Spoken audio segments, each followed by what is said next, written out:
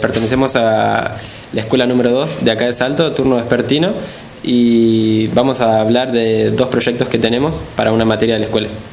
Bien, bueno, contanos, ¿cuál es el primero de ellos? Bueno, eh, el primero de ellos es, el más importante que tenemos por ahora, es hacer una colecta solidaria. Em, que más que nada son de materiales y alimentos de básica necesidad, así que estamos por ahora en ese proyecto y tenemos otro a la par que va a ser más adelante hacer una tarde de actividades, meriendas y juegos eh, con nenitos del barrio Trocha. Bueno, cuéntenos eh, sobre la colecta, que, en qué fecha se está realizando, cómo puede la gente acercar las cosas que quiera donar. Bueno, la colecta la empezamos la semana anterior y la vamos a estar llevando a cabo hasta que veamos tener los materiales suficientes para hacer 15 unidades diferentes con distintos tipos de materiales y alimentos dentro de cada unidad.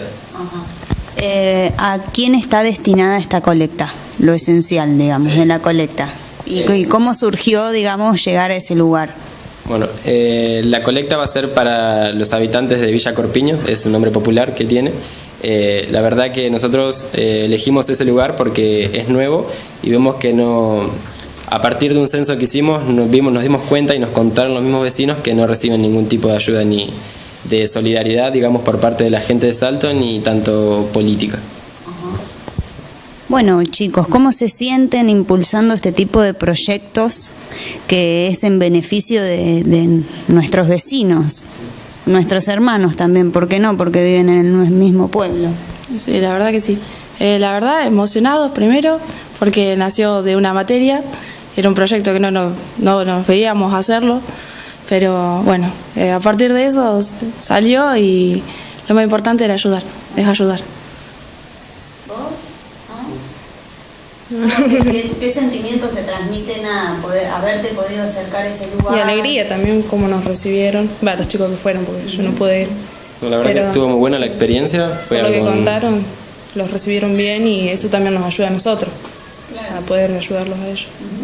La verdad que la gente de ahí es súper humilde. Lo, más que nada, más, muy importante, digamos, lo que rescatamos fue la sinceridad que tuvieron al decir qué cosas necesitaban y cosas que no. Y hasta incluso nos recomendaron vecinos para ayudar y eso. Claro, entre ellos mismos. Eh, em, eh, sí, se decían de ayudar, por ahí en preferencia de ayudar al otro. Eh, de que por ahí le faltaban cosas a alguien, pero decía primordial para a la otra persona que le hacía falta. Eh, para llevar las cosas dentro de la institución sería de lunes a viernes, tanto turno mañana como turno vespertino, que es a partir de las cuatro y media de la tarde hasta las 10 y media de la noche.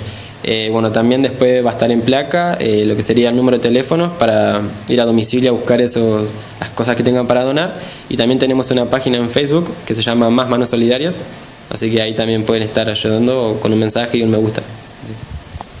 Y nos dijimos los elementos que necesitas los artículos de limpieza, eh, ropa, de cama, alimentos no perecederos y pañales, que es lo que más recalcamos.